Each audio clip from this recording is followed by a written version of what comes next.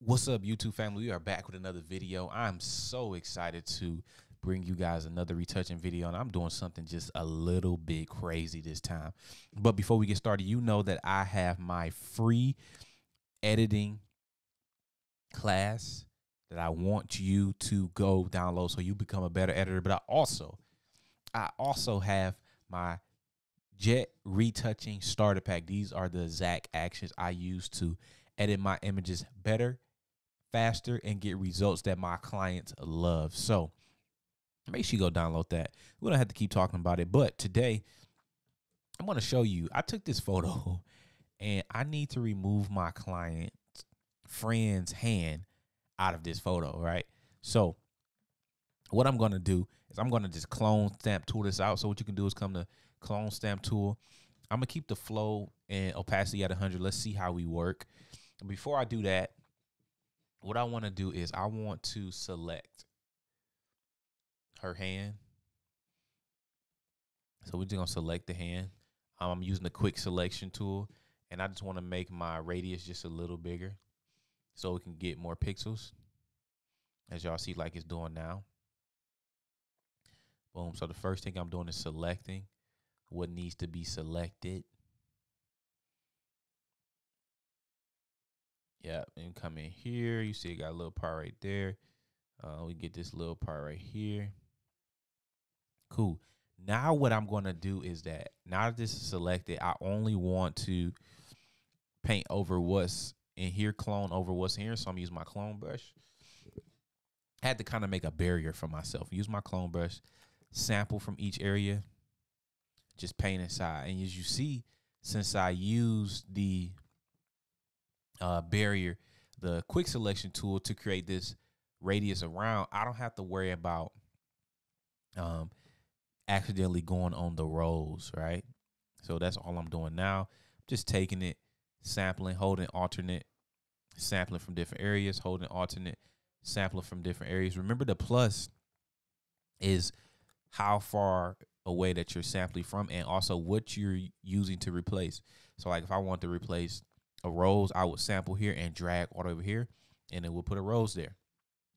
But I just want to sample from this area. So what I'm doing is just sampling and dragging. And as y'all see, I forgot to take her arm out. So I need to add to, I'm gonna go to my quick selection tool, hit the plus button, and I'm just gonna add her arm into there so that we don't have any issues. As you see, it added way too much. Yep, so let's go ahead and do that. Go back to my clone stamp tool. Sample from this area. Gonna make my brush just a little bigger. And we're just gonna keep painting over. You can kind of start like pulling from different areas. Like I can start pulling from over here. I want to make it easier. Yeah. Pulling from over here we don't really want to sample the same thing. As you see, like when I overlap stuff, um, it makes it look very different. So I'm just gonna continue to sample from both sides so that everything is okay. Let's command Z because I messed up right there. Boom. Boom.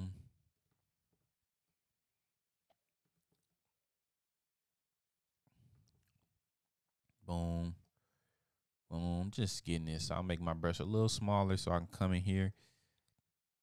Um, well, what I've noticed is that since I got this border, I can't come in here yet. So this is good. So we're gonna go ahead and hit Command D to deselect. And as you see, I got these lines, but don't worry about that. We're gonna come straight to it. I'm just come gonna come here and knock out these right here. Boom, come in, knock out these little lines using my clone stamp tool. It's sampling and knocking these lines out. As you see, I'm riding along, get riding along. Let's come on the other side because I was going to hit the flower, ride along. Now I come right in here, ride along in there, and we can come in here, ride along in there. I'm going to take my patch tool and I'm just going to just make this look a little bit more realistic. Just a little bit more realistic.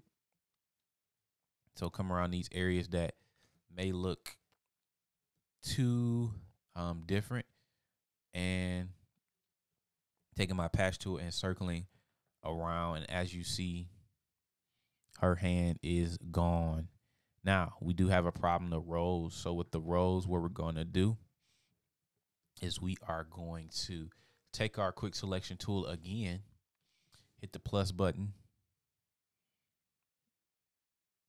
come around i just want to get a little bit of the stem i don't have to get all because i'm about to do what is called a fake out um where i put the image behind it.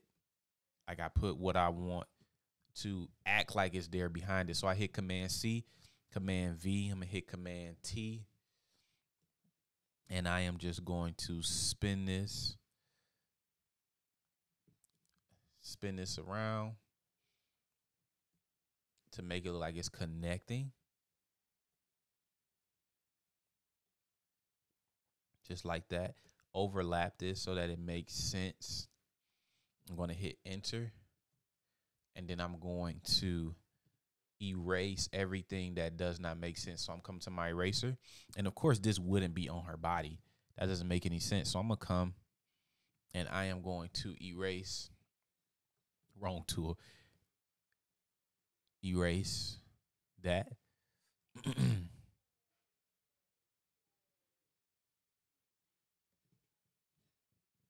Then boom, merge these two layers together.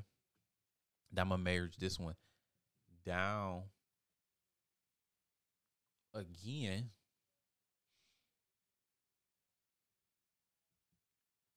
Boom, merge this one down. Then I'm gonna blend this line in. So we want to blend this line in. So I'm gonna come and I'm going to use my patch tool and I'm just gonna circle and blend as best as I can.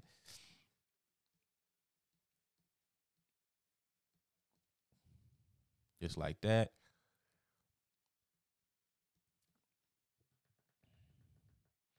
Boom. Now when you zoom out, you would think it's a rose there. Beautiful. This image is beautiful. Beautiful. So let's look at our before and after. Before after, before, after, before, after. And I think what I want to do is I'm going to just blur this out a little. Let's throw a Gaussian blur. Let's select. We're going to select the piece that we added.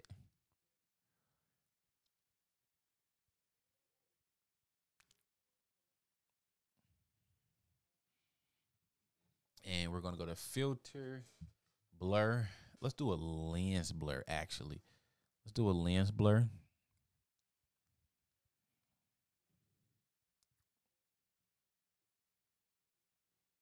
And we're just gonna drag until it like kind of looks blurry, like the lens did it. So that's what we're working on now because everything in the background also looks blurry. So why wouldn't we do the same thing for this. So I think this is kind of pushing it right here. Let's see. Yep, that's kind of pushing. That makes it look too fake. So let's bring it back down to maybe about 10, 9. I can work with that. I can work with that. And then what I'm to do, because I don't like how sharp these edges is, I am going to take my clone stamp tool, and I'm just gonna put some softness to these edges, man. Let's just put some softness to them. Let's soften them up a little bit. And basically, for me to soften them up, I'm just taking my clone stamp tool and just going around them, blending it in with the background to make it look like the edges are softened up a little more. As you see, like I'm doing here.